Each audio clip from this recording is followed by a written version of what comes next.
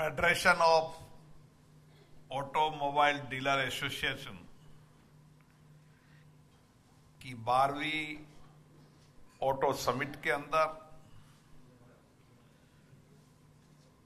Tata motor के MD Shri Shailesh Chandra ji इस association के अध्यक्ष श्री मनीष राज सिंघानिया जी एसोसिएशन के vice president Shri C S Vighneshwar ji पुराने एसोसिएशन के अध्यक्ष जिन्होंने इस एसोसिएशन को, के कामों को आगे बढ़ाने के लिए कार्य किया, जिनको लाइफ टाइम अचीवमेंट भी दिया, और देश भर के आए सभी ऑटोमोबाइल एसोसिएशन के डीलर भाइयों, बहनों, नौजवान साथियों, मैं सबसे पहले आपको शुभकामना देता हूँ, बधाई देता हूँ, और विशेष रूप से इसलिए भी कि आप केवल मोटर व्हीकल गाड़ियाँ ही बेचने का काम नहीं कर रहे। आप बेचने के साथ साथ अपने सामाजिक उत्तरदायित्व को निभा रहे हैं।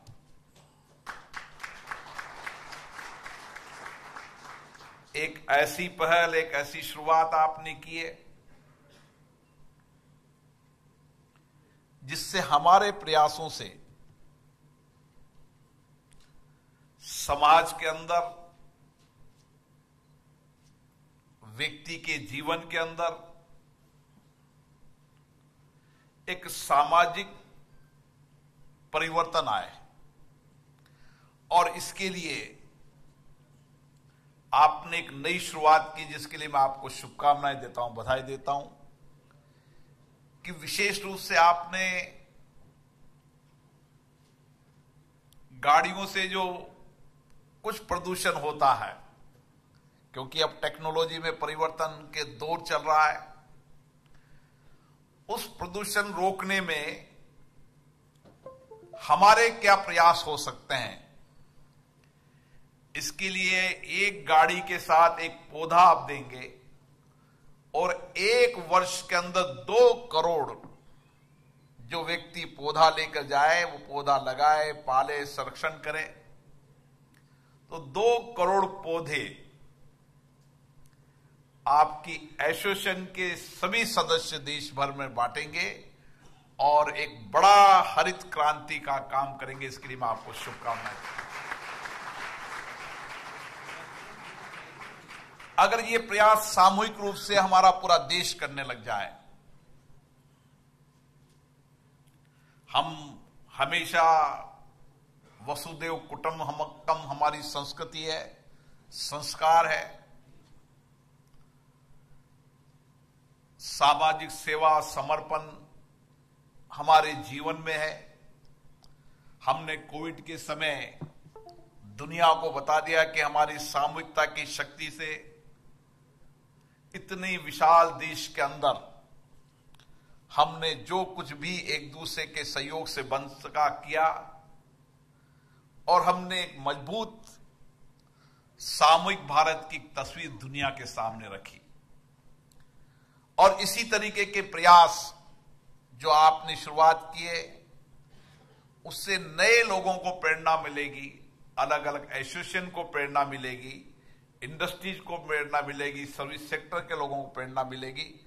और जो हमारा लक्ष्य है, जलवायु परिवर्तन के विषय पर, जो भारत के प्रधानमंत्री जी ने दुनिया के अंदर कहा है कि आबादी की दृष्टि से हम 17 प्रतिशत हैं, लेकिन कार्बन उत्सर्जन की दृष्टि से हम कम है और उसको और लक्ष्य के साथ पूरा करने का काम करेंगे।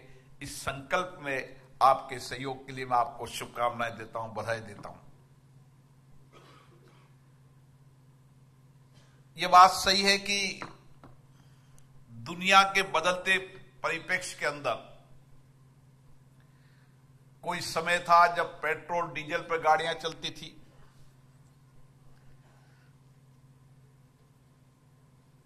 आज युग परिवर्तन हो रहा है। आज पेट्रोल, डीजल के बाद सीएनजी आई है एलपीजी आई है इलेक्ट्रिकल व्हीकल आए।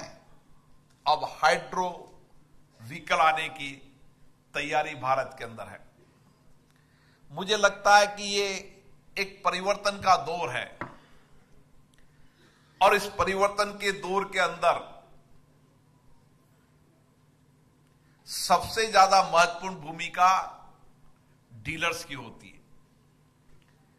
क्योंकि डीलर्स और ग्राहक का संबंध सबसे नज़दीक होता है।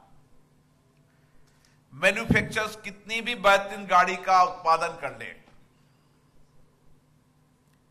लेकिन जो डीलर होता है वह गाड़ी के फीचर को किस तरीके से अपना ग्राहक के सामने प्रेजेंटेशन करता है, उस पर ग्राहक उस गाड़ी की खरीदने की मन स्थिति को बनती है।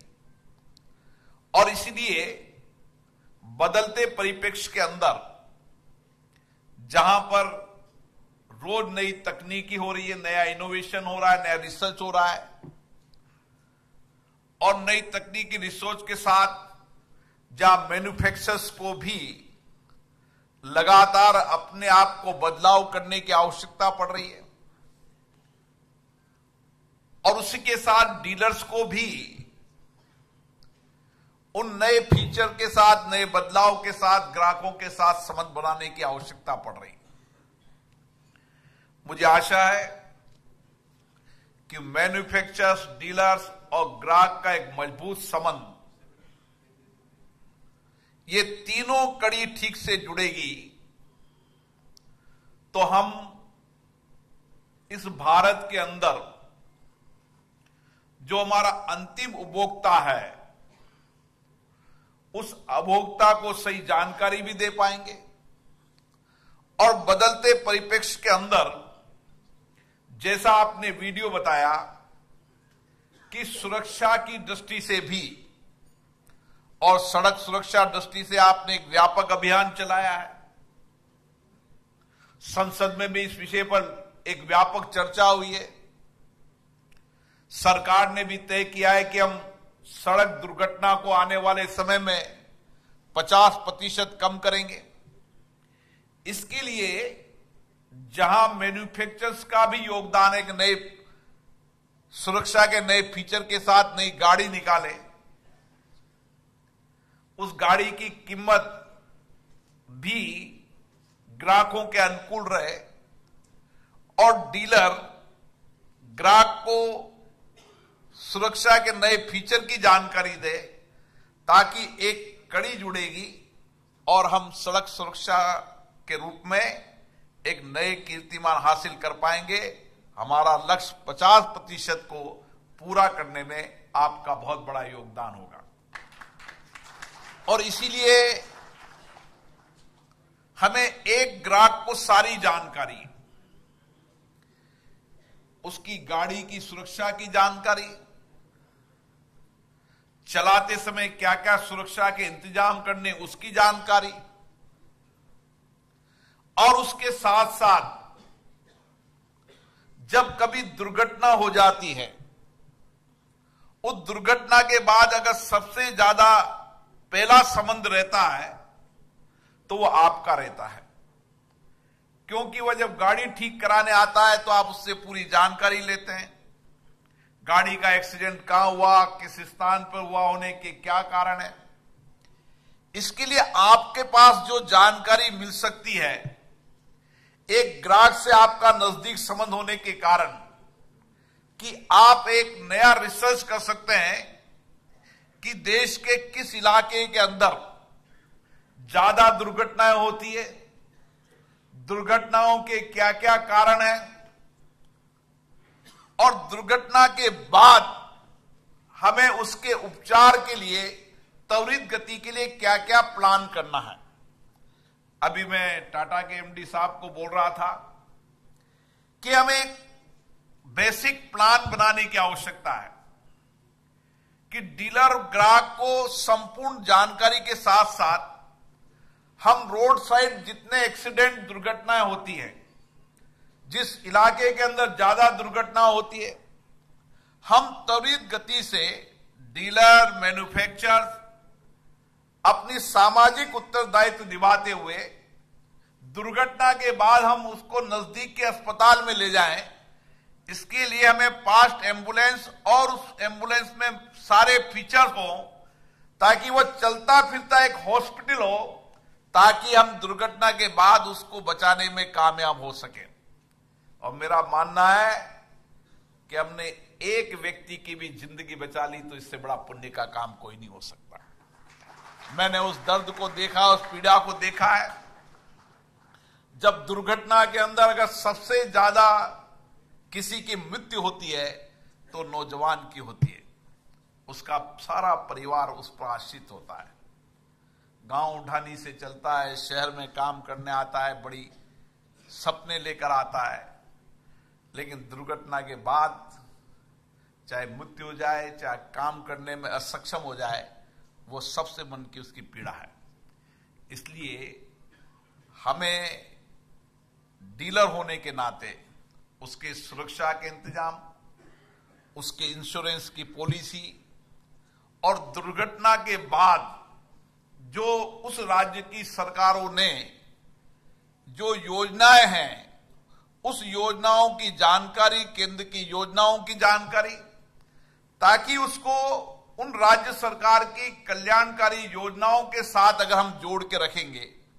मानो कोई दुर्घटना के अंदर कोई योजना है, राज्य सरकार की दुर्घटना में किसी को इतना पैसा मिलना चाहिए, कोई बीमा की योजना है, कोई प्रधानमंत्री सुरक्षा योजना है, तमाम योजनाओं की जानकारी भी गाड़ी को बेचने के साथ साथ अगर हम उपभोक्ता को देंगे तो शायद हम पहले सुरक्षा की दृष्टि से उनकी ज़िंदगी बचाने की बात करेंगे, दुर्घटना के बाद उसके बेहतर इलाज का काम करेंगे, और उसके बाद भी अगर नहीं बच पाया तो उसकी बाकी ज़िंदगी, परिवार के पालन पोषण का इंतज़ाम हो, ये सारा काम बेहतरीन तरीके से कर सकता है तो डीलर ही कर सकता है। और मुझे बहुत अच्छा लगा कि आपने एक पर्यावरण की बात की, सड़क सुरक्षा की बात की, आपने सुरक्षा के इंतज़ाम की बात की, लेकिन कुछ कठिनाइयाँ, कुछ परेशानियाँ आपकी भी है। और निश्चित रूप से आपके एसोसिएशन लगातार इस बात पर कहीं न कहीं कई बिंदुओं पर सरकार के संपर्क में रहती है कि किस तरीके से, क्योंकि बदलते परिप्रेक्ष्य के अंदर जब एक कोई कंपनी बंद हो जाती है तो काफ़ी बड़ी संख्या के अंदर लोग बेरोजगार हो जाते हैं। और अचानक कंपनी ने कहा कि आज से हमारी तालाबंदी होगी। वो डीलर और डीलर से काम करने वाले सारे लोगों की बड़ा इफ़ेक्ट पड़ता है। इसलिए इसका एक मॉडल बनना चाहिए। जो मुझे सिंघाजियन जी ने बताया है, मेरी कोशिश होगी। मैं तो सुनने वाला हूँ संसद में। लेकिन मेरी अपेक्षा होगी कि संसद सदस्य सड़क सुरक्षा के बारे में बात करते समय कुछ डीलर्स के, कुछ फ्रेंचाइजीज के, कुछ इश्यूज़ पर भी चर्चा करेंगे और अपने विषयों को रखेंगे। जब संसद या विधानमंडल में अपने विषयों को रखेंगे तो निश्चित मेरी कोशिश होगी कि उचित समय पे उचित डायरेक्शन दूँ ताकि आपकी समस्या का समाधान भी हो सके। मुझे खुशी है कि आज दुनिया के अंदर, भारत वो देश है जो आर्थिक रूप से सबसे तेज़ी से बढ़ता हुआ देश है। और दुनिया के अंदर आर्थिक डेस्टिनेशन के रूप में भी सबसे ज़्यादा उपयुक्त स्थान आज भारत के अंदर है। और ऑटोमोबाइल एक ऐसा सेक्टर है, जब मैं कहीं जाता हूँ तो मैं देखता हूँ, मैं बड़े देश में भी गया, छोटे देश में भी गया। छोटे देश में मैंने युगांडा में देखा टू व्हीलर गाड़ी किसकी? भारत की। मैक्सिको में मैंने ट्रैक्टर देखा तो भारत का। हमें गर्व होता है कि एक समय था जब भारत केवल बाहर से पुर्जे लाकर गाड़ियों का असेंबल करने का काम करता था। आज हमें गर्व है कि भारत अभी भी एक्सपोर्ट के रूप में सबसे बड़ा आगे आने वाले समय के अंदर, दुनिया के अंदर ऑटोमोबाइल एक्सपर्ट में भारत नेतृत्व करेगा, ये क्षमता हमारी हमारे नौजवानों की अद्भुत क्षमता इनोवेशन रिसर्च की नई क्षमता है। और इसलिए हमें भरोसा है कि दुनिया के जो विकसित देश नई टेक्नोलॉजी की गाड़ी लाते थे, एक समय यह आएगा जब भारत टेक्नोलॉजी के बारे में भी, सुरक्षा की दृष्टि से भी, नए फीचर के रूप में भी भारत के नौजवानों की बौद्धिक क्षमता, उनकी इनोवेशन क्षमता, उनकी रिसर्च की क्षमता के आधार पर भारत की गाड़ियाँ दुनिया में बिकने लगेगी। और ये हमें गर्व है कि जो नए रिसर्च है, नए इनोवेशन है, और भारत ने करने शुरू कर दिए हैं। हमारे नौजवानों ने जिस तरीके से आज नए स्टार्टअप के माध्यम से वैश्विक चुनौतियों, भारत की चुनौतियों, उसका समाधान भारत का नौजवान करने लगा है। क्योंकि ऑटोमोबाइल सेक्टर रेवेन्यू की दृष्टि से सबसे बड़ा सेक्टर है और भारत में सबसे ज़्यादा गाड़ियाँ बिकती है, इसलिए सेक्टर को आर्थिक रूप से भी मज़बूत करना पड़ेगा। जितना आर्थिक रूप से ऑटोमोबाइल सेक्टर मज़बूत होगा, भारत की आर्थिक स्थिति उतनी मज़बूत होगी। मुझे आशा है कि यहाँ पर डीलर्स भी बैठे हैं, मैन्युफैक्चरर्स के रूप में भी बैठे हैं। हम किस तरीके से बदलते वैश्विक परिप्रेक्ष्य में अपने आप को दुनिया की बेहतरीन गाड़ी दे सकें, सुरक्षा की दृष्टि से भी, नए फ्यूल, नई टेक्नोलॉजी के माध्यम से भी, ताकि आने वाले समय में भारत दुनिया का नेतृत्व कर सके और ऑटोमोबाइल सेक्टर के अंदर जो रेवेन्यू आती है, जो आर्थिक तंत्र का सबसे ज़्यादा अगर बड़ा हिस्सा आता है तो ऑटोमोबाइल से आता है वह हम, हमारे देश के अंदर उत्पादन गाड़ियों का यूज़ करें और आने वाले समय के अंदर, दुनिया के अंदर भारत की बनी हुई गाड़ियाँ दुनिया के अंदर बेहतरीन हो, इस लक्ष्य के साथ काम करने की आवश्यकता है। मैं पुनः डीलर एसोसिएशन के सभी पदाधिकारियों को बहुत बहुत साधुवाद देता हूँ, जिन्होंने एक नया कीर्तिमान हासिल किया है, नए सामाजिक संकल्प लिए हैं और आने वाले समय में आपने जो सामाजिक संकल्प लिए हैं, चाहे पर्यावरण को सुरक्षित करने का हो, चाहे सबसे बड़ा काम और महत्वपूर्ण काम है, लोगों की जिंदगियाँ बचाने का काम आपने शुरू किया है। अगर आप पूरे संकल्प के साथ काम करेंगे तो हम सब मिलकर इस दुनिया के अंदर, भारत के अंदर सबसे कम दुर्घटना वाले देश बने, ये भी हमारा लक्ष्य होना चाहिए, ताकि हम लोगों की जिंदगियों को बचा सकें। और भारत सड़क सुरक्षा दृष्टि से एक लैंडमार्क बने कि इतने बड़े विशाल देश के अंदर, इतनी विविधता वाले देश के अंदर किस तरीके से हमने सामाजिक सहयोग से सबके साथ मिलकर सड़क दुर्घटना रोकने में नया व्यापक इंतज़ाम किया है। आप सबको बहुत बहुत शुभकामनाएँ बहुत बहुत बधाई।